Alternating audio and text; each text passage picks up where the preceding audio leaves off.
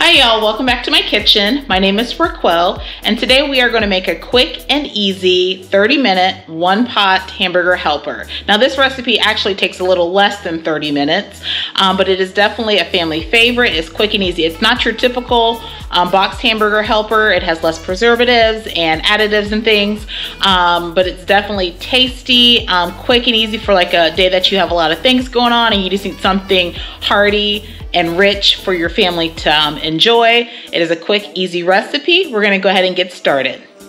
And if you like quick and easy recipes, please uh, be sure to give me a thumbs up and um, subscribe. That way you can stay updated on future recipe videos.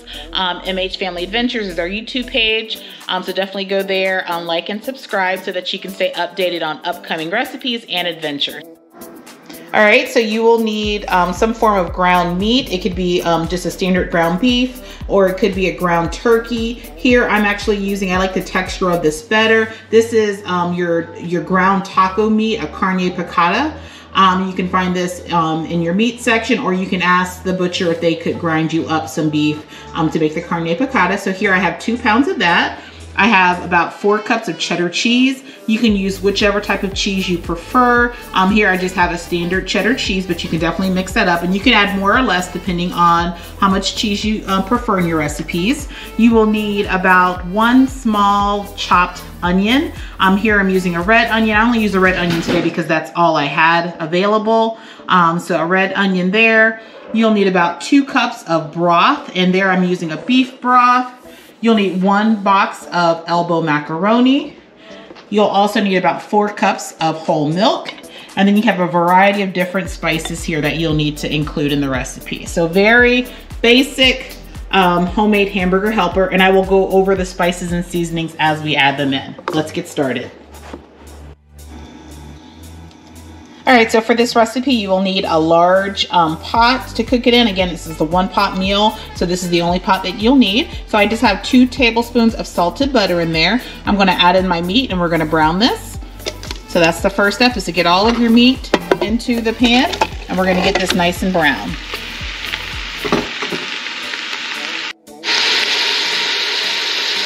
Okay, and while you're cooking your meat, you don't need to cook it um, 100% all the way through because it is going to cook a little bit more in the broth and in the milk. So um, cook it about three quarters of the way. I'm just going to get most of it nice and brown.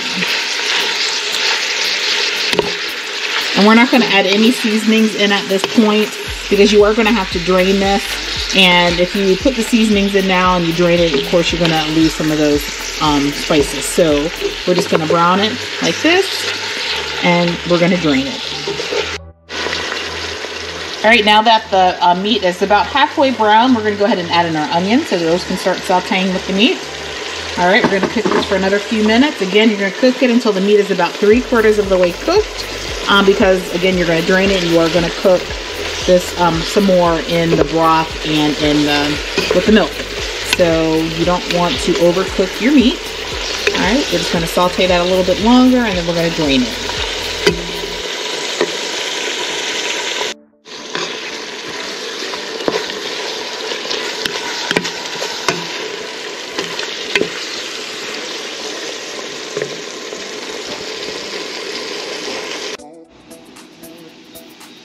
Right, so we have the meat drained, and I can tell you that this was probably the hardest part of this recipe because now all you have to do is add in the rest of the ingredients um, except for the cheese. So you're gonna save the cheese for last. So we're gonna go ahead and add in our spices. Um, let's see, we have salt.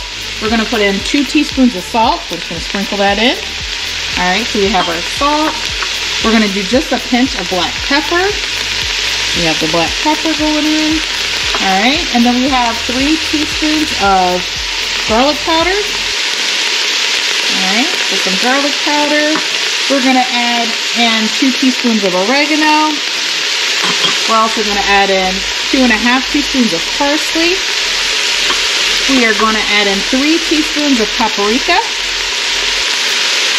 All right, and then one and a half teaspoons of chili powder. You can add more or less depending on how you like your spice. And we're gonna add in a tablespoon of sugar. I'm gonna go ahead and stir that up. And we're gonna add in our liquid and our noodles. All right, stir that up. You don't have to worry about the salt content. Um, like I said, if you didn't season your meat before, this is getting it nice and seasoned. And we're going to keep that seasoning in the pan and not drain it down the sink. All right, so we have that.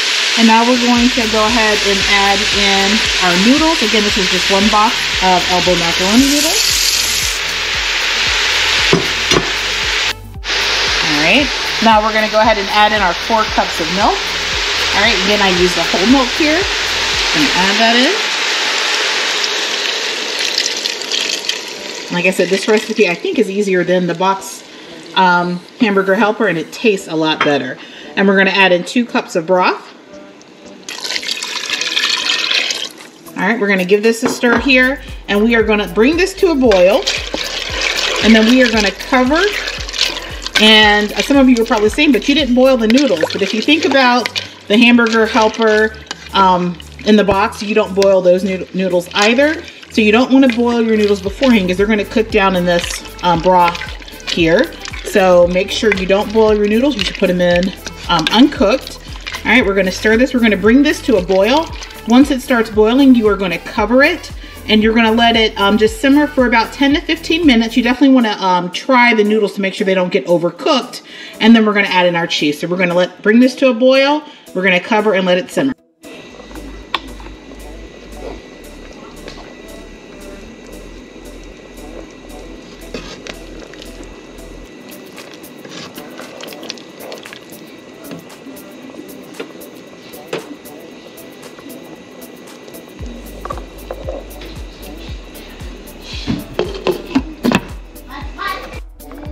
All right, so you wanna make sure that while you're waiting the 10 minutes that you're stirring it periodically um, just to make sure nothing's sticking at the bottom. And then you wanna definitely give a noodle uh, um, taste test just to make sure the noodles are cooked and cooked well. Um, you don't want it to overcook or be mushy. So at this point, um, I've tasted my noodles and they are al dente. And so now we're gonna go ahead and add in the cheese. That's the final step. All right, so I've turned the heat off and now we're just gonna add the cheese in, let that melt and help thicken things up some.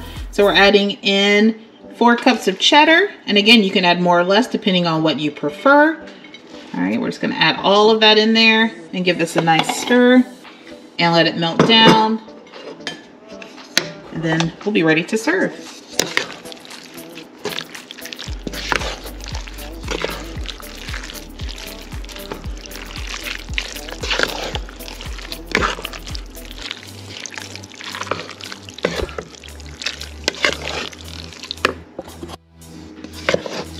And I went ahead and just removed it from the stove. That's a tip to do. That way you don't have the heat from the stove still getting just too hot and then your noodles become mushy. So, all right, so we're gonna give that a good stir and let it sit for a minute just to help thicken it up.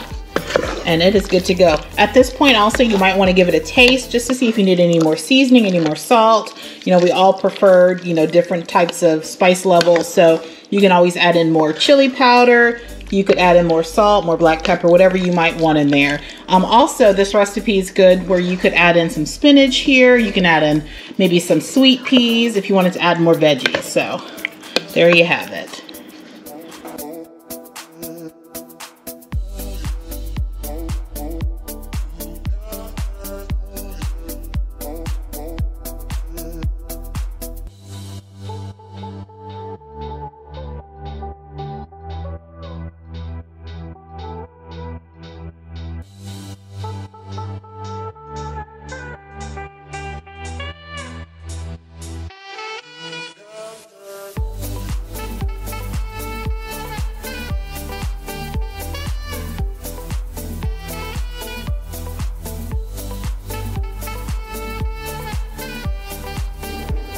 All right, so there you have it, a quick and easy, under 30 minutes, probably more like 20, 25 minutes, um, homemade hamburger helper. And again, you can use whatever type of meat you prefer, whether it's ground turkey, ground beef, or in my case, I use carne picada.